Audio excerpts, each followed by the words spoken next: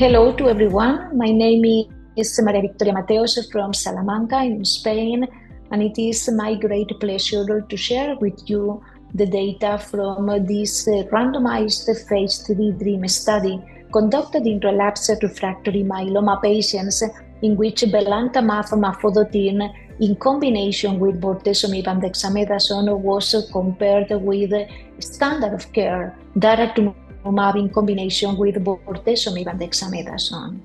As uh, you know, multiple myeloma patients do usually receive proteasome inhibitors, IMiDs, anti-CD38 monoclonal antibodies as part of the first line of therapy. This means that uh, some of these patients are triple class exposed when they arrive to the second line of therapy.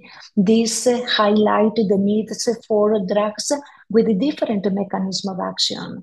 And belantamab mafodotin is the first BCMA antibody drug conjugated with monomethyl auristatin F, and it has been combined with bortezomib and dexamethasone in the experimental arm of this uh, DREAMM-7 study. The control arm was daratumumab in combination with bortezomib and dexamethasone, and the population was relapsed refractory myeloma patients after at least one prior line of therapy. Patients received eight cycles consisting of belamaf plus BD or daratumumab BD, followed by belamaf monotherapy or daratumumab monotherapy as continuous therapy until progressive disease, unacceptable toxicity, withdrawal of consent, or death. The primary endpoint of this study was uh, to evaluate the progression-free survival. The baseline characteristics of the patients uh, were well balanced in both arms, and just uh, to note that the vast majority of the patients had been previously exposed to bortezomib, and approximately 50% of the patients had been previously exposed to lenalidomide, and 33% of the patients were indeed refractory to daratumumab. And basically, very few patients had been previously exposed to daratumumab because refractoriness to daratumumab was an exclusion criterion. The primary endpoint, progression-free survival, was met in the DREAMM-7 study. And here you can see how Bela-VD resulted into a significantly longer median progression-free survival, 36.6 months, in comparison with the bortezomib dexamethasone plus daratumumab, the median progression-free survival was 13.4 months.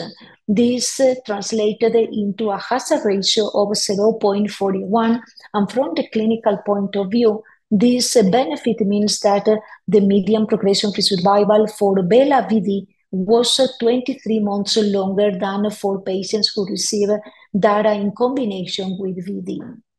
In addition, the superiority of Bela-VD was consistent across all different pre-specified subgroup of patients, including those patients with the disease refractory to lenalidomide or patients with high-risk cytogenetic abnormalities.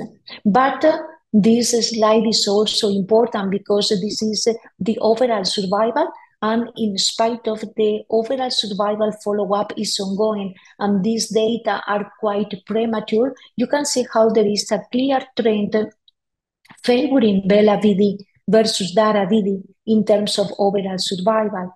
And 54 events have occurred in Bela-VD and 87 in Dara-VD with a hazard ratio of 0.57.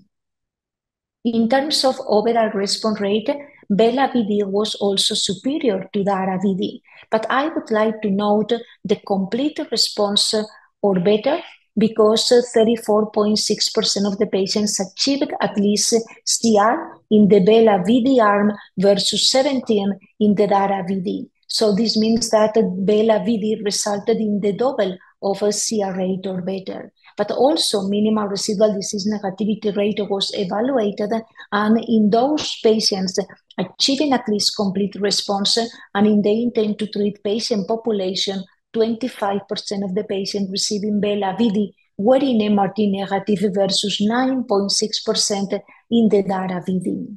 The durability of the response although the majority of the patients in the experimental arm are ongoing in response, durability was also significantly longer. I previously said that the benefit of Bela-Vd was observed across the different pre-specified subgroup of patients. But I would like to pay your attention to the benefit in the late refractory population. In the left-hand side of the slide, we can see how the superiority for Bela-Vd is remarkable in the population refractory to lenalidomide. Dara-Vd in this population resulted in a median PFS of 8.6 months, and Bela-Vd resulted in a median progression-free survival of 25 months. And the same benefit was also observed in the len refractory population in terms of overall response rate, as well as a complete response rate or better, and even minimal residual disease negativity rate, 5.7% for Dara-Vd, 25.3% for Bela-Vd. But another important subgroup of patients are those with high-risk cytogenetic abnormalities. In the left-hand side of the slide, you can see the benefit for Bela-Vd over Dara-Vd in patients with high-risk cytogenetic abnormalities, and Bela-Vd resulted in a median PFS of 33.2 months. When we look into the benefit in a standard risk population, it's important to see how Bela-Vd in the standard risk resulted in a median PFS of 36.6 months. When we compare these 36.6 months in standard risk and 33.2 months in the high risk, the conclusion is the addition of belantamab mafodotin to bortezomib and dexamethasone is basically able to overcome the poor prognosis of the presence of high-risk cytogenetic abnormalities. And this is extremely important. The benefit is also observed in terms of overall response rate, complete response rate or better, and also in terms of minimal residual disease negativity rate. In terms of safety profile, I would say that the safety and tolerability were consistent with the known safety profile of the individual agents. Overall, as the durability of the treatment was longer for Bela-Vd than Dara-Vd, the incidence of uh, any adverse event, grade 3, 4 adverse events, or either serious adverse event was slightly higher for Bela-Vd. But when this incident was adjusted to the time of exposition, the difference is not so evident. However, you know that one of the most relevant adverse events that we can see when we treat our myeloma patients with belantamab mafodotin is the ocular toxicity. This slide summarizes the main findings based on ocular toxicity we've seen in the DREAMM-7. We are going to focus on patients receiving Bela-Vd. And here you can see three pictures in which we are going to see represented the best corrected visual acuity. In the left-hand side of the slide, this is the normal visual acuity 20/20. And this was the situation basically for all patients at the moment of uh, starting treatment with Bela-Vd. In the middle, you can see how we can present after treatment with belantamab mafodotin blurred vision. This means that the visual acuity decreased to 20/50. And in the right-hand side of the slide, we can see what we can call impaired vision when the visual acuity worsened to 20/200. It's important to note how the majority, 34% of the patients treated with Bela-Vd, experienced a deterioration of the visual acuity to 20/50, and only 2% of the patients experienced a worsening of the visual acuity to 20/200. So this means that the majority of the ocular toxicities are going to be in the middle. But it is important also to note how the vast majority, basically all patients, resolved the visual acuity throughout delays, interruptions, and some patients had to discontinue treatment. But this occurred in only 9% of the patients.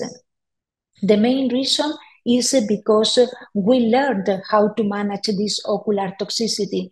And the first important consideration is to expand the number of weeks, so to increase the number of weeks between the two belamaf administration. This is what it is represented in this graph. We've seen how at the beginning, belantamab was given every three weeks.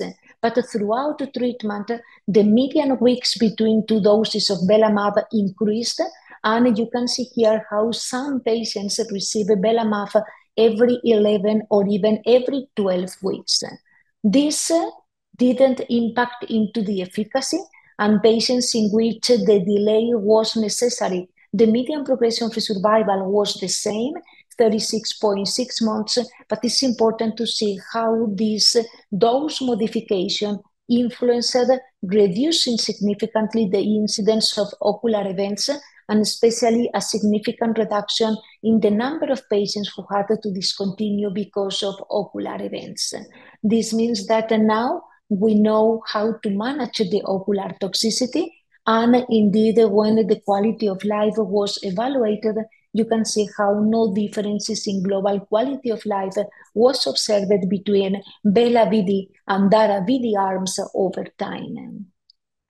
In conclusion, I would say that belantamab in combination with bortezomib and dexamethasone can be a new standard of care in relapsed refractory myeloma patients after at least one prior line of therapy.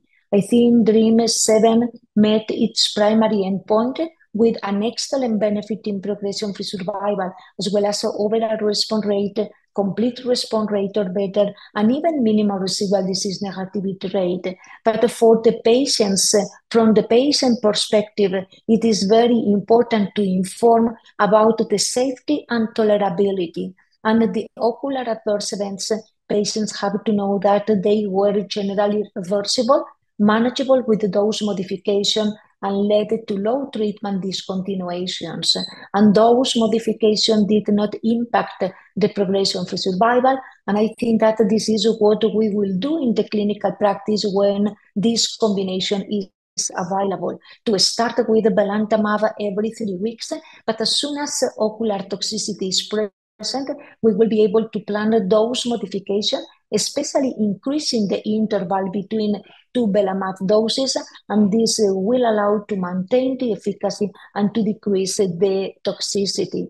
In addition, we've seen how this combination is very effective in the LEN refractory population, and this is a challenging population that we see today basically in all patients at the moment of the first relapse. And also it is very important to recognize the efficacy observed in patients with high-risk cytogenetic abnormalities. So I consider that this combination together with another Bela-based combination, in this case with pomalidomide and dexamethasone, will represent new, two new options of therapy for relapsed refractory myeloma patients. And here you can see all countries in which the DREAMM-7 has been conducted, indicating that this is a global clinical study. And of course, I would like to finalize saying thanks to all patients and to all people involved in this clinical study. Thank you very much for your attention.